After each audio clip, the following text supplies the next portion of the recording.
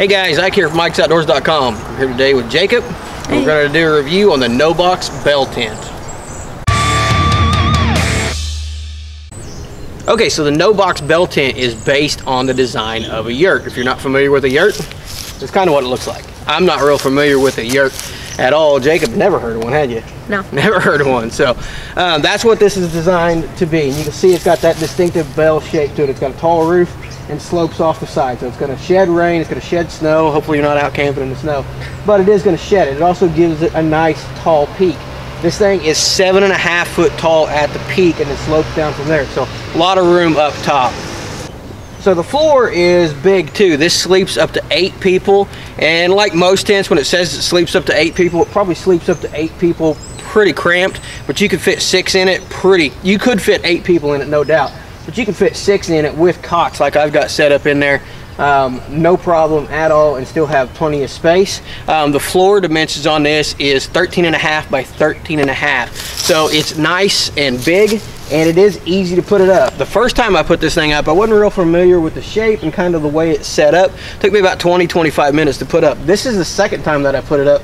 And this second time, knowing how it worked out, it literally took me 15 minutes to set up. It was really easy. You get it out of the, the bag, you unfold it, you lay everything out, stake it down, and then you, you put your tent poles in there, you strap it down, and you're done.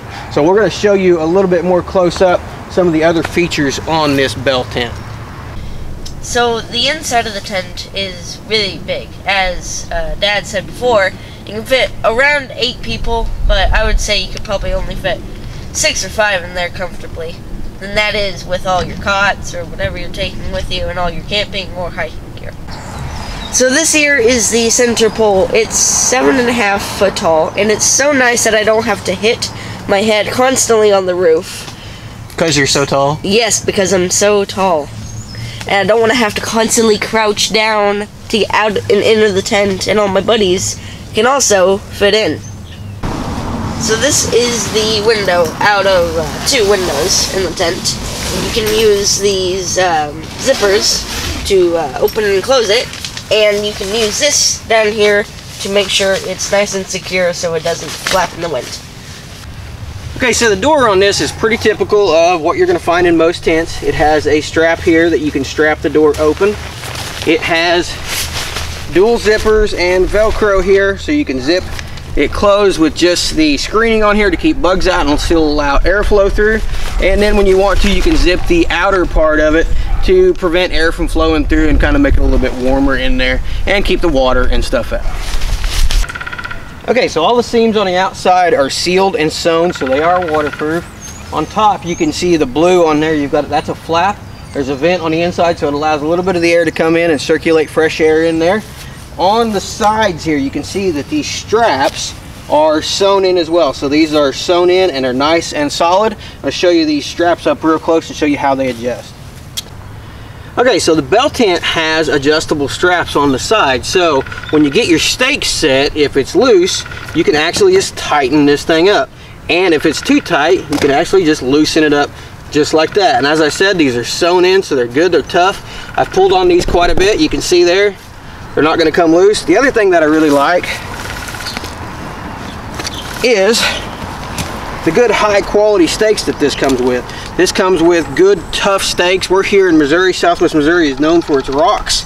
And these stakes, I have had no problem with driving these stakes in and hitting rock with them and driving them right through the rock. So I'm really glad that it comes with good solid stakes and good solid sewn in straps that are adjustable. So the last thing on this bell tent is it does come with a one year warranty and this thing overall weight is 21 pounds. So it's a nice, portable, tall, easy to set up tent.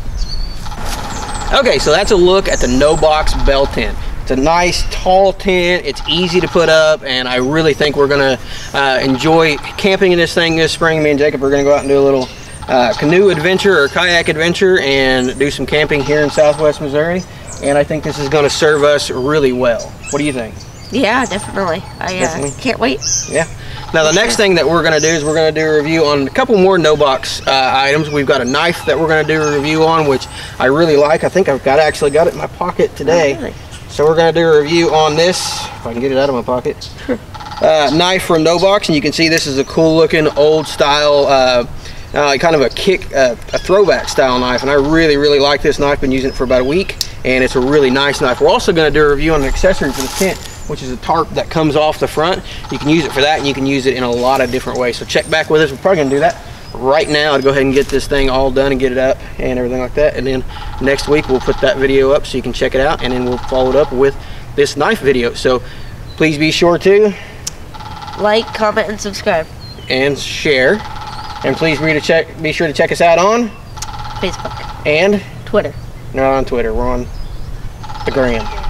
Instagram. Isn't that what you kids call it? The gram? No, You're not on the gram? no, You we call never. it the gram? I have never heard of it called the gram. That's not the gram? No. Well, I'm starting it. I'm starting right now. We're on the gram under Ike's Outdoors. Appreciate you guys watching. Bye.